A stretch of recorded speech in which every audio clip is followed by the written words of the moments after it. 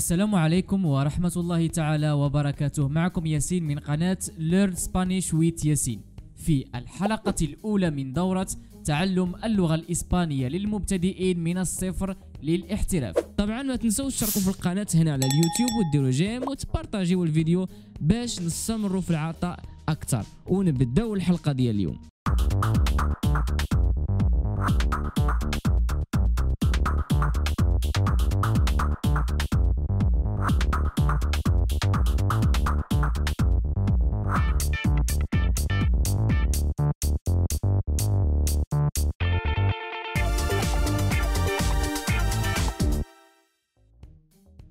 هذه الحلقة مخصصة للمبتدئين فقط الذين لا يعرفون أكثر من كلمة hola أو qué tal لهذا إذا كان مستواك في اللغة متوسط فانتظر حتى الحلقة رقم عشرة ثم ابدأ بمتابعة الدروس.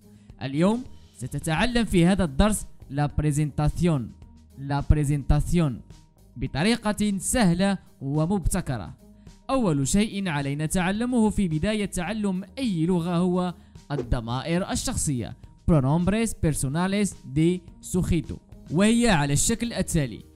جو تعني أنا. تو تعني أنت أو أنت. ال تعني هو. إيا تعني هي.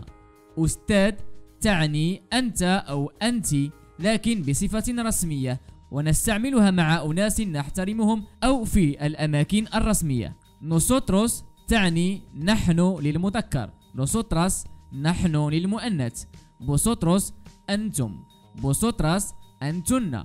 ellos هم. ellas هن.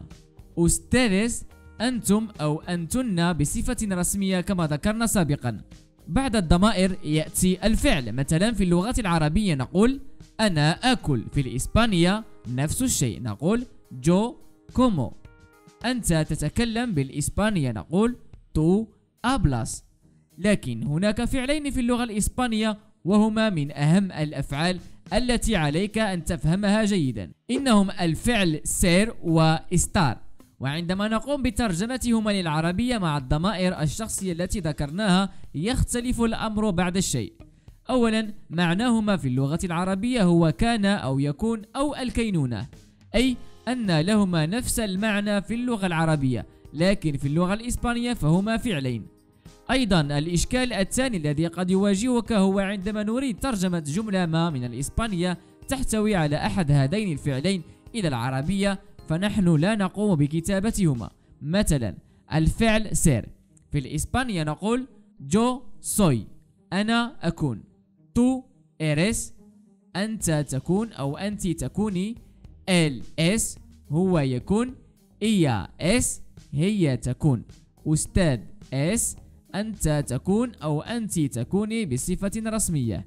لأقول أنا ياسين بالإسبانية سأقول yo soy ياسين لاحظ أن في العربية لم نقم بكتابة ترجمة سوي لكن هي في الأصل أنا أكون ياسين وبما أننا في العربية لا نقول أكون فنحذفها لكن يبقى معناها. أيضا في الإسبانية يمكننا أن نحذف الضمائر الشخصية ونكتفي فقط بالفعل أي عكس اللغة العربية.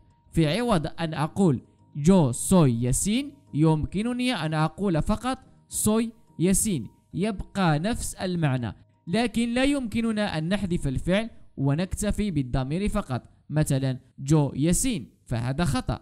هناك فعل آخر في اللغة الإسبانية يستعمل في التعريف بنفسك. وهو الفعل llamarse llamarse نقول جو ميامو أنا اسمي. tú te llamas أنت اسمك أو أنت اسمك. ال سياما هو اسمه. إيا سياما هي اسمها. أستاذ سياما أنت اسمك أو أنت اسمك بصفة رسمية. شاهد معي هذا الحوار. Hola, me llamo Yasin. ¿Te llamas Adam? No, no soy Adam, soy Juan. Hola, yo soy Yasin y ella es Sara, es de Marruecos. Hola Sara, yo no hablo árabe. ¿Y tú? ¿Hablas español? No, yo no hablo español. Y tú, Yasin, ¿eres marroquí? Sí, yo soy marroquí. Soy de Tánger. Y ella es de Casablanca. عندما نريد أن نسأل في اللغة الإسبانية فنحن نكتب علامة الاستفهام مقلوبة في بداية الجملة وغير مقلوبة في نهاية الجملة. مثلا eres ياسين eres ياسين تصبح في اللغة العربية هل أنت ياسين؟ أو hablas árabe؟ hablas árabe؟ هل تتكلم العربية؟ إذا كان الجواب بلا فنحن نقول no no hablo árabe. no. no hablo árabe.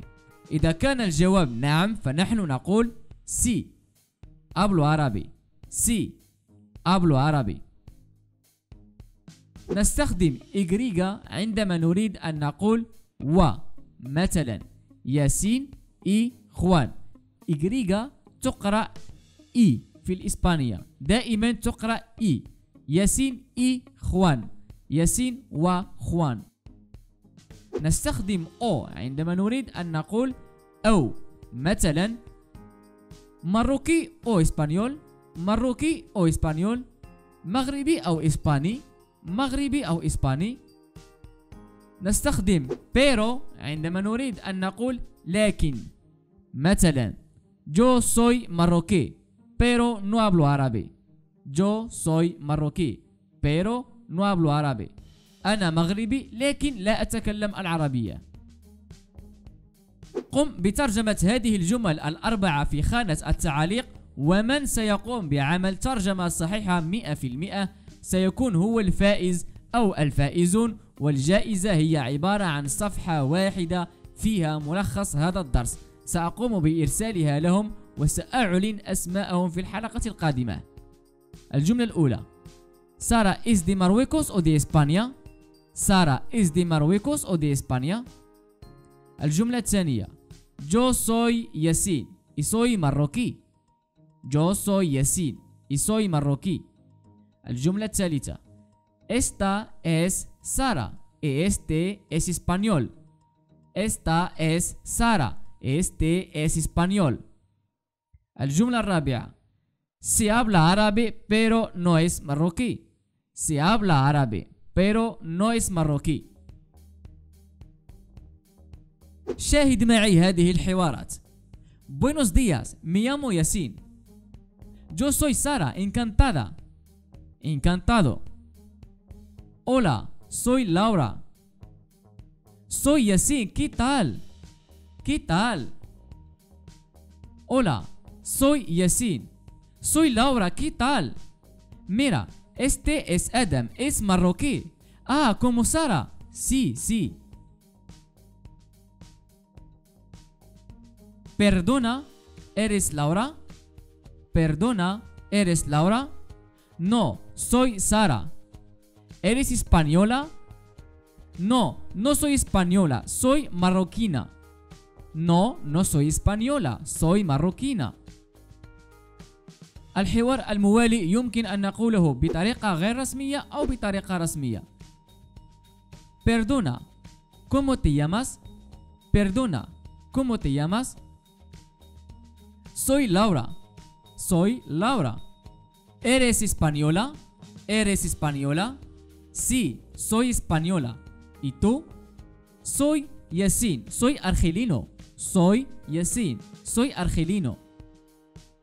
بطريقة رسمية سنقول نفس الحوار Perdone, ¿cómo se llama?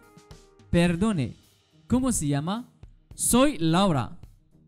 ¿Usted es española? ¿Usted es española? Sí, soy española. ¿Y usted? Soy Yasin, soy argelino. Soy Yasin, soy argelino. عندما نريد أن نسأل شخصا ما من أين أنت نقول ¿De dónde eres? ¿De dónde eres? ¿De dónde eres? أو ¿De dónde es? ¿De dónde es? بالطريقة الرسمية. Hola, yo soy Yasin de España. ¿Y usted? ¿De dónde es? قم بإجابتي على هذا السؤال في خانة التعاليق ونلتقي في الحلقة القادمة